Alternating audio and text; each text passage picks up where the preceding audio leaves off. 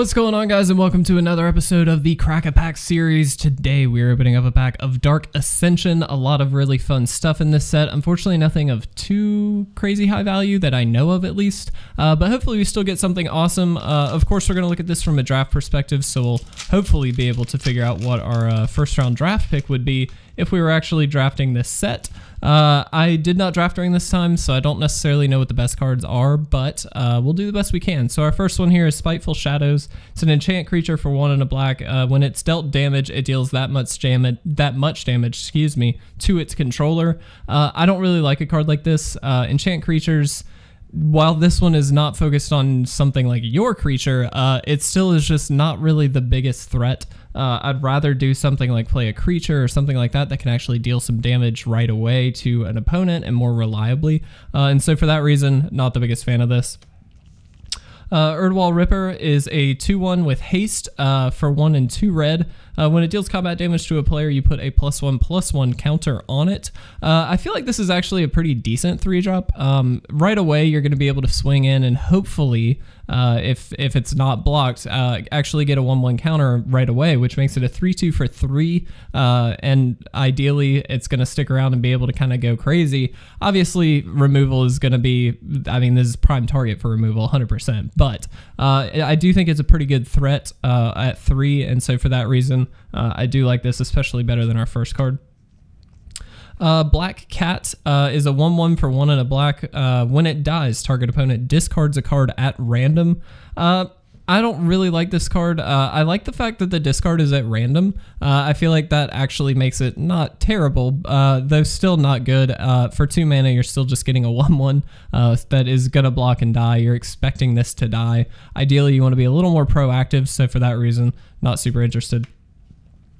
Uh, Break of Day is an instant for one and a white. Creatures you control get plus one plus one until em- end of turn. This also has Fateful Hour, which is a, a, a set specific mechanic. So if you have five or less life, those creatures are also indestructible until end of turn. These are really classic style cards. We've seen them in the form of uh, Trumpet Blast or Inspired Charge, things like that, where they're really, really good payoffs for go wide strategies. So if you've got a lot of tokens or a lot of cheap creatures, something like this is going to be a really prime card for your deck because it's going to be a really efficient way to end the game quickly. Uh, you just attack with everything, buff them all at once, and then hopefully get in just just enough damage to kind of take your opponent out, or at least clear the board on their side and put yourself in a really good winning position. Uh, this also has the bonus, obviously, with Fateful Hour, and it's actually only two mana, which uh, is pretty cheap, honestly, for an ability like this. Uh, that being said, I wouldn't take this first. I would much rather have like the token generators, things like that, a little bit before I would take a card like this. Uh, I want this card in that deck, certainly, but I don't know if I'm necessarily in that deck right away. Uh, and so for that reason, I wouldn't take this early. Uh, Hunger of the Howlpack uh, is an instant for one green. Put a 1 1 counter on target creature, and then this also has Morbid, another set specific mechanic. Put three 1 1 counters on it if a creature died this turn. Uh, Morbid was a really interesting mechanic. It's one that you can really swing in your favor with combat and things like that. Uh, three 1 1 counters is really good for one mana. Uh, even just one, using this as a combat trick is great. I feel like this is a pretty premium combat trick. Uh, it is instant speed, so you can use it as such. Plus, its counters not just a, a, end of turn buff or something like that. Uh, that's very very powerful. I think I would still rather have the Ripper over this, but this is definitely a good aggressive card.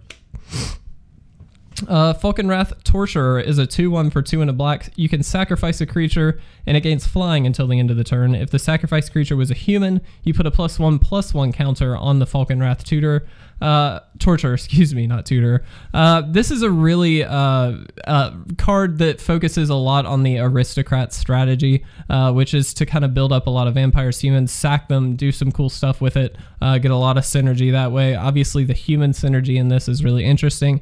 Uh, I feel like this is a pretty good card. I don't know that it's better than the Ripper. Uh, I feel like I'd rather have a few more humans before I take this, especially because it's a common. I feel like it's going to be uh, a card that I would see a little bit more of, even if I waited later in the pack, or even just in another Dark Ascension pack, right? So uh, I feel like I wouldn't take this early, but it's really, really a solid three drop in that deck. Uh, I think the Ripper is a little bit better just on its own, which is why I would take this, uh, take the Ripper over this. Uh, Heavy Mattock is a equipment uh, for three mana, and it uh, basically gives the the equipped creature plus one plus one. Uh, if the qu- equipped creature is a human, it gets an additional plus one plus one, and then the equip cost is two. Again, we're seeing a lot of that humans uh, synergy in this set. Uh, that was a big uh, vampires, a lot of tribal stuff. This card is just kind of a filler card in my mind. I feel like if you're in humans, it's not a bad card. If you're not in humans or you maybe just have one or two, it's still okay. It's not great. It's not super efficient, but it is an artifact that sticks around. You can give it to other creatures even if that creature dies, uh, which makes it a step above something like an enchant creature, which might do the same thing. Uh, and so I do like this card. It fits into any deck, but it's not that impressive. I would definitely wait till later in the pack to pick it. Uh, Young Wolf is a 1 1 for 1 green. It does have Undying, so when it dies, if it had no plus 1 plus 1 counters on it, return it to the battlefield under its owner's control with a plus 1 plus 1 counter on it. I really like this card. This is a really solid 1 drop. Uh, being able to bring it back right away if it does die uh, as a 2-2 is really, really good. We have actually seen this card in uh, certain Pauper decks and things like that just because it is so good as a 1-drop. Uh, again, I feel like the Ripper's a bit better. It's a bit more aggressive, uh, but this being able to come back is really, really key. So I could kind of go either way, but I would probably pick the Ripper over this. Uh, Evolving Wilds is a very classic land. Uh, you can tap it, sacrifice it, and search your deck for a basic land card, put it onto the battlefield tapped, and then shuffle your deck. Uh, this is a really just a card that we've seen everywhere. Terramorphic Expanse is essentially the same thing. Uh, I really like it if you're in multicolored decks, which generally speaking in draft you end up in maybe two colors, sometimes three, depending on the set, uh, maybe even more than that. But a card like Evolving Wilds is great because it does fix you uh, for the mana that you might need. So I don't take these early, but again, if I'm in a multicolor deck and I happen to see this, especially if there's no other picks in the pack, this is a really safe pick. It's always going to be good if you're in a multicolor deck. So for that reason, it's good. Still would rather have a little more direction with the Ripper first. Uh, Towergeist is a 2-2 for 3 and a blue. It does have flying, and when it enters the battlefield, you look at the top two cards of your deck, put one of them into your hand and the other into your graveyard. This is very much my kind of card. It digs you a little bit into your deck. It's a 2-2 flyer, so hopefully it's going to get in for a little bit of damage, uh, or at least be able to block in the air, which is good. Uh, it does also have that graveyard synergy, being able to dump something into your graveyard. There will be, uh, if I'm not mistaken, there are benefits to doing stuff like that in this set. Uh, so I like this more than the Ripper for sure. Uh, this is definitely just a really solid card.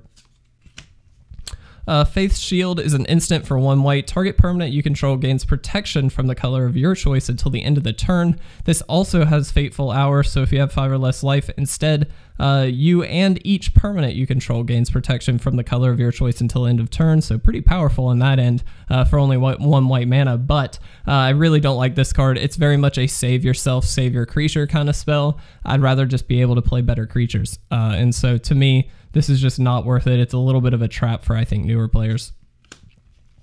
Uh, Chill of Foreboding is a sorcery for two and a blue. Uh, each player puts the top five cards of his or her library into his or her graveyard. This also has flashback for seven and a blue. That's a pretty big flashback cost. Uh, this, again, though, showing off that Towergeist mechanic where you can dump stuff in your graveyard, and then with flashback, you can actually play it even if it is already there. So uh, a little bit of synergy uh, connection there, but I don't really like this card. While mill strategies actually are pretty solid uh, in a lot of uh, limited decks, just because you have less cards to have to get through. I mean, it's only a 40 card deck, so ideally you'll be able to get through that uh, pretty quickly. Uh, I don't like that uh, this is really, really expensive on the flashback cost, and it hits both of you. Uh, I do think you have to be in the flashback deck to make this card good. Uh, otherwise, I don't really know that there's a dedicated mill deck in this set. I might be wrong on that, so please correct me in the comments if I am, uh, but I don't believe there is, and so for that reason, I'm not super excited by this. Uh, and then our rare is Call to the Kindred. It is an enchantment aura for three and a blue. It's an enchant creature.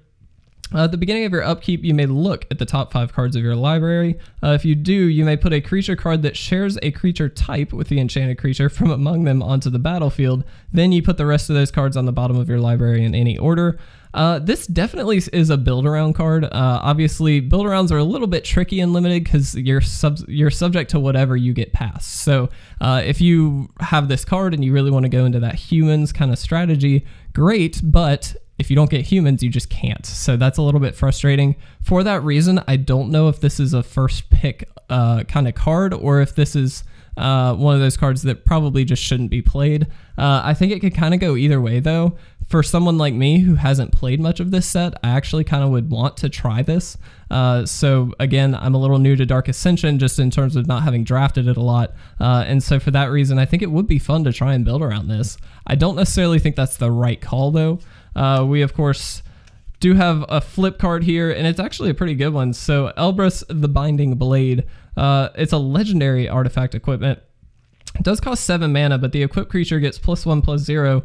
When it deals combat damage to a player, you unattach uh, Elbrus and then transform it, the equip cost, of course, only being 1, and you transform it into Withengar Unbound. It's a 13 13 uh, flying, intimidate, trample. Uh, whenever a player loses the game, put 13 1 1 counters uh, on the Unbound. This is a really powerful card, obviously. I would probably pick that over everything else just because it's so ridiculous. Uh, I do think, uh, excluding this card, I could kind of either see Towergeist or Call to the Kindred. Uh, again, much more of a build around card, much more of a safe pick in Towergeist. Uh, so it's really dependent on whatever you decide to do. Uh, I would probably go Call to the Kindred for fun, but that's definitely my pick. So uh, if you agree, disagree, if you like the video, please make sure to leave a like or a comment down below. Uh, and as always, please make sure to subscribe to stay up to date on all of our awesome content. But with that, I'm going to get out of here. Thanks for watching, guys. I'll see you in the next Crack a Pack episode.